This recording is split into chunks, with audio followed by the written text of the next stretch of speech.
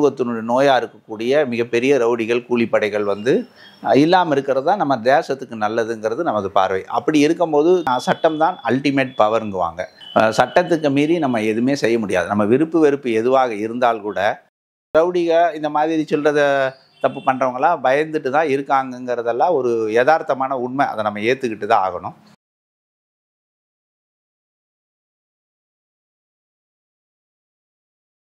அனைவருக்கும் வணக்கம். மாநில மனித உரிமை ஆணையம் வந்து தற்போது வந்து வருகின்ற பதினாலாம் தேதி வந்து தற்போது இருக்கின்ற ஆணையாளர் திரு அருண் அவர்களுக்கு வந்து ஒரு நோட்டீஸ் அனுப்பியிருக்கிறாங்க.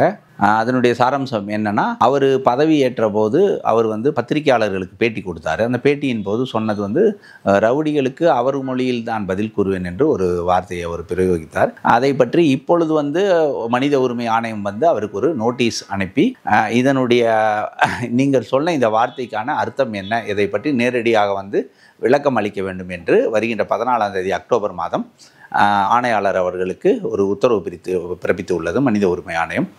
நம்ம இதை வந்து ஒரு ஒரு யதார்த்தமான ஒரு பார்வையோடு நம்ம பார்க்கணும். இப்போ வந்து பார்த்திங்கன்னா ஒரு பெரிய மிகப்பெரிய ஒரு தமிழ்நாட்டில் பொறுத்தளவு ஒரு ஆம்ஸ்டாங்கிற மிகப்பெரிய ஒரு பிரபலமான ஒரு அரசியல்வாதியை வந்து படுகொலை செய்யப்படுகிறாரு.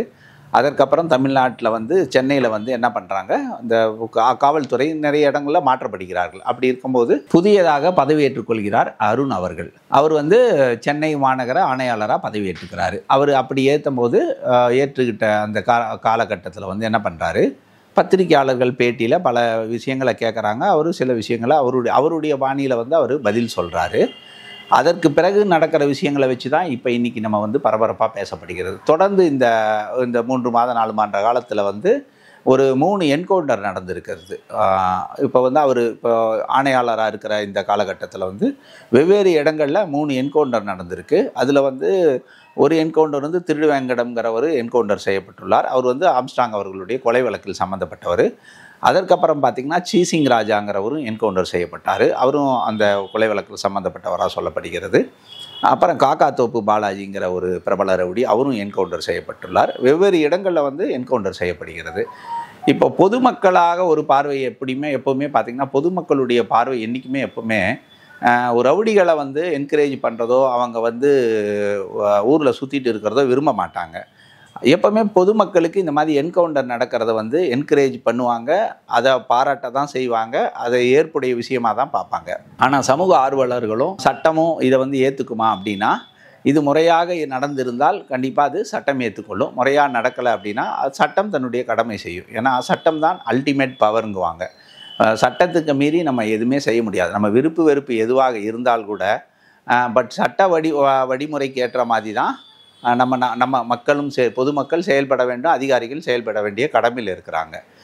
இப்போ வந்து ஒரு மனுநீதியாக நம்ம ஒரு இந்த விஷயத்தை பார்க்க போகும்போது ரவுடிகள் ஒழிக்கப்பட வேண்டியவர்கள் தான். அதில் எந்தவித மாற்று கருத்து கிடையவே கிடையாது. நமக்கு நம்மளை பொறுத்தளவு மனு ஒரு அந்த இந்த சமூகத்தில் ஒரு நோய்ங்கிறது இந்த மாதிரி கூலிப்படையினர். அந்த நோயை நீங்கள் அகற்றி தான் ஆக வேண்டும். ஏன்னா இவங்களுக்கு வந்து வேறு வழியே கிடையாது. இவங்களை அகற்றலைன்னா தொடர்ந்து அது தொடர்ச்சியாக நடந்துக்கிட்டே தான் இருக்கும். ஸோ அது மாதிரி இருக்கும்போது மக்களுடைய பார்வையும் நம்மளுடைய பார்வையும் வந்து ஒரு சமூக விரோதி இந்த சமூகத்தினுடைய நோயாக இருக்கக்கூடிய மிகப்பெரிய ரவுடிகள் கூலிப்படைகள் வந்து இல்லாமல் இருக்கிறது தான் நம்ம தேசத்துக்கு நல்லதுங்கிறது நமது பார்வை. அப்படி இருக்கும்போது திரு அருண் அவர்களை வந்து மக்கள் மூலயமா நம்ம பாராட்டி தான் ஆகணும். அதை முடியாதுன்னு சொல்ல முடியாது. இன்னொரு பார்வைன்னு பார்த்தா திரு அருண் அவர்கள் வந்த பிறகு சிட்டியில் பார்த்தீங்கன்னா குற்ற செயல்பாடுனுடைய ஸ்டாட்டிஸ்டிக்ஸ் வந்து அதிகப்படியாக குறைஞ்சி இருக்கிறது மேக்ஸிமம் ஒரு ஃபிஃப்டி டு சிக்ஸ்டி பர்சன்டேஜ் குற்றம் தன்னுடைய அந்த புள்ளியல் கணக்கு வர பார்த்தா அதிகப்படி குற்றங்கள் குறை குறைஞ்சிருக்குங்கிறது நம்ம சொல்லி தான் ஆகணும். அதுக்கு நம்ம அவரை பாராட்டி தான் ஆகணும். என்னன்னா இந்த இருந்தாலும் இவர் பதவி ஏற்ற பிறகு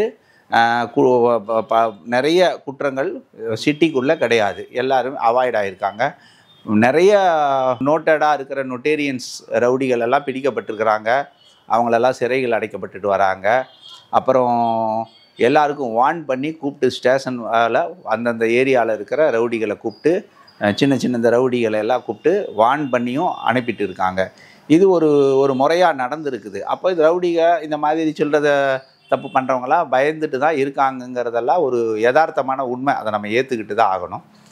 இது அப்படியே கொஞ்சம் கடந்து பார்க்க போகும்போது நம்ம என்கவுண்டரை நம்ம வந்து இது ஒரு பெரிய சப்ஜெக்ட் என்கவுண்டர் அது வந்து நம்ம வந்து கிரிட்டிசைஸ் பண்ணுற இடத்துல நம்ம கிரிட்டிசைஸ் பண்ணனா கூட இந்த மாதிரி மனுக்கள் இப்போ ஒரு என்கவுண்டரில் ஒரு மனிதன் இறந்துட்டாங்க அப்படின்னா அவங்க கண்டிப்பாக அவங்களுடைய ஃபேமிலியிலேருந்து இந்த மாதிரி மனித உரிமை ஆணையத்துக்கு மனு கொடுக்கறதுங்கிறது ஒரு மரபு தான் அந்த மரபின் அடிப்படையில் யாராவது கொடுத்துருப்பாங்க.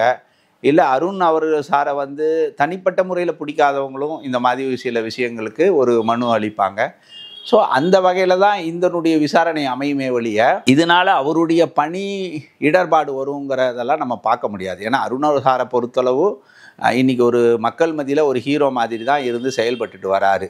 அதில் எந்த மாற்றமும் கிடையாது. அவர் மக்களுக்கு வந்து பார்த்திங்கன்னா எல்லாருக்கிட்டையும் நம்ம ஒரு பல பேர்கிட்ட கேட்டிருக்கிறோம். அவர் இருக்கிறனால சிட்டி நல்லா இருக்குது க்ளீனாக இருக்குது. ரவுடிகளாக பயந்துட்டு இருக்காங்க. நிறைய பிரச்சனைகள் இல்லை. நிறைய இந்த மாதிரி போதை வஸ்து பழக்க வளவும் நிறைய வ- பெருவாரியாக குறைஞ்சிருக்குங்கிற பார்வையில் தான் அவங்க மக்கள் சொல்கிறாங்க அந்த வகையில் நம்ம அருண் சாரை நம்ம கண்டிப்பாக பாராட்டி தான் ஆகணுங்கிறதுல நம்ம எந்த மாற்று கருத்தும் கிடையாது. இருந்தாலும் இந்த மாதிரி என்கவுண்டருங்கிற விஷயம் வந்து ஒரு அது வந்து சட்டத்திற்கு உட்பட்ட ஒரு விஷயம். அதுக்கு ஒரு எப்போவுமே எந்த என்கவுண்டர் நடந்தாலும் உங்களுக்கு கண்டிப்பாக மனித உரிமை ஆணையத்தில் அதை பற்றியான விசாரணை நடத்த தான் செய்வாங்க. ஸோ அந்த விசாரணைக்கு அவர் உட்- உட்பட்டு ஆக வேண்டிய கடமையில் தான் இருக்கிறாரு. அதனால் நம்ம இதை வந்து ரொம்ப அதிகமாகவும் கிரிட்டிசைஸ் பண்ண முடியாது.